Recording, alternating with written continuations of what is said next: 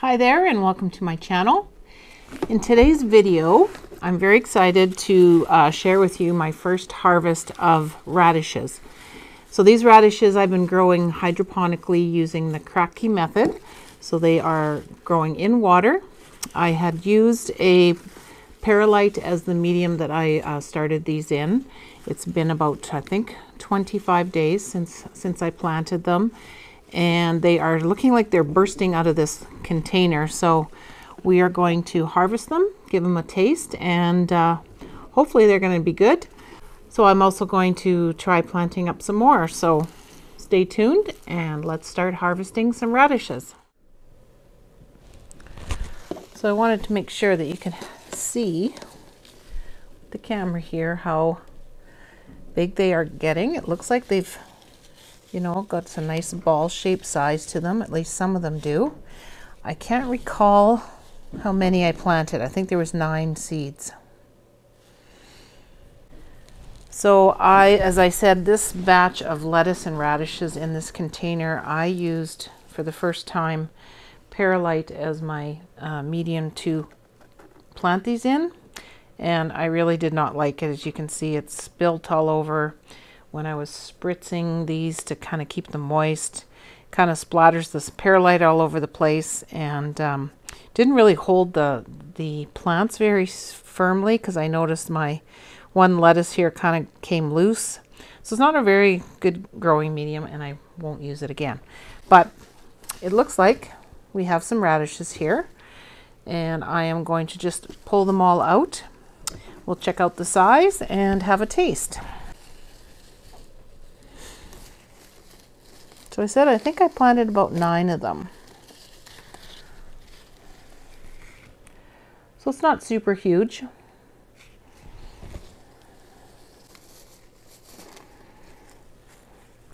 That one definitely not very big.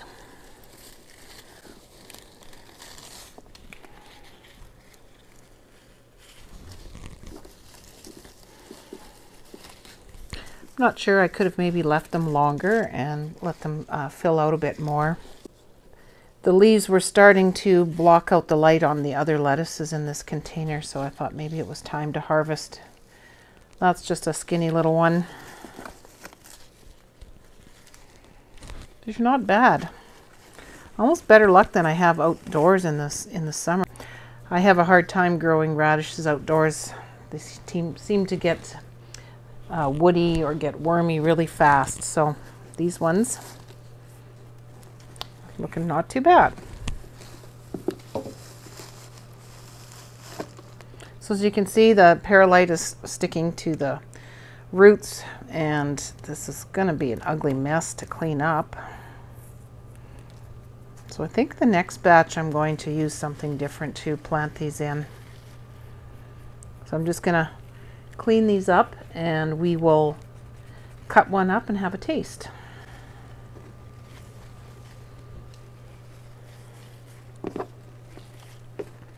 Okay, so I have these radishes all washed up now, and here they are. So they are beautiful. I'm really happy with, you know, the size of these, and the roots are nice and healthy looking. Nice green stalks on them. So I'm definitely going to keep growing these again. So I thought we will uh, try tasting them first of all to see if they, how they taste. Um, these are a heirloom radish seed called a scarlet globe. They are 20 to 25 days from seed to harvest and they are supposed to be crisp and crunchy uh, with a delicate flavor.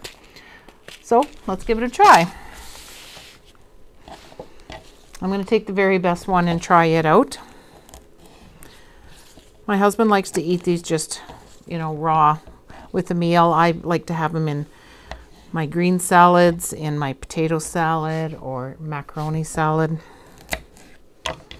Okay. So the inside is nice and white.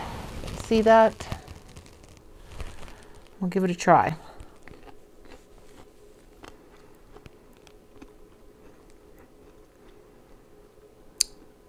not bad. There's not a lot of, um, they're not very spicy or hot like some some radishes are. They're quite um, mild tasting, a little bit sweet, and um, not even a really strong uh, spicy aftertaste that you sometimes get when you have radishes. So, not bad. So I also have this kind of radish seed here that um, is, I think, by the description here would be a little more of a spicy type radish. It's, it says it's for the spicy individual. So these are called the sparkler white tip. So I think the next round I'm going to try planting these and see how they taste. As I said, this one is pretty mild and not really, um, not really a whole lot of flavor. So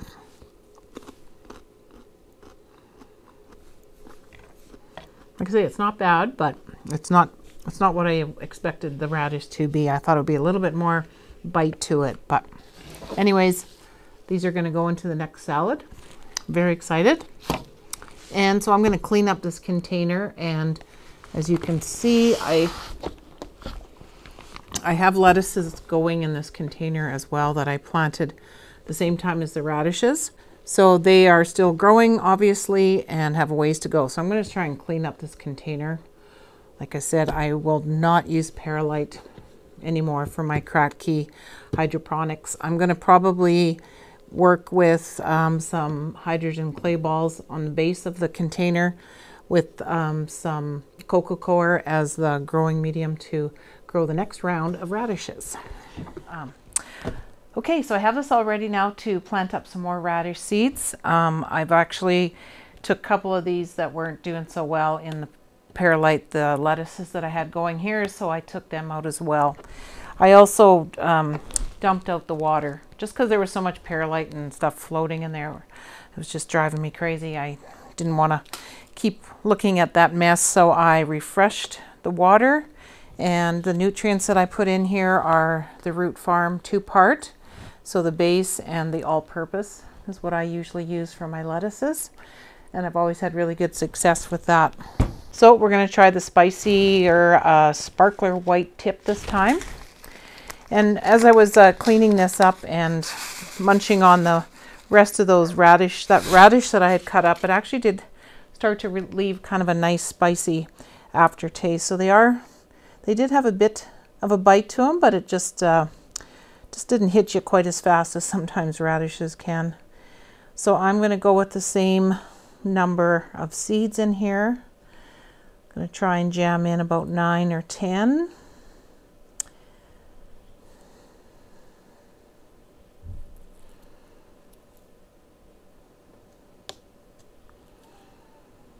So as I said, I got a, a couple inches of the clay balls in this um, cup and then the rest is coconut coir. Okay, so I think I did not keep track, but I think I planted about 10. So I've just used an, uh, a seedling pot that I, you know, got from the nursery with a with the seedling plant. Cut some extra slits on the side so that it absorbs water. It's got lots of holes on the bottom. So these are romaine lettuce that I have started on this side. I'm going to plant up a, some butter crunch lettuce in these two containers here. So usually morning and night until these germinate and start getting some roots that are reaching the water. I just keep the uh, top moist with a spray bottle. So check on it day and night. Give it a good soaking.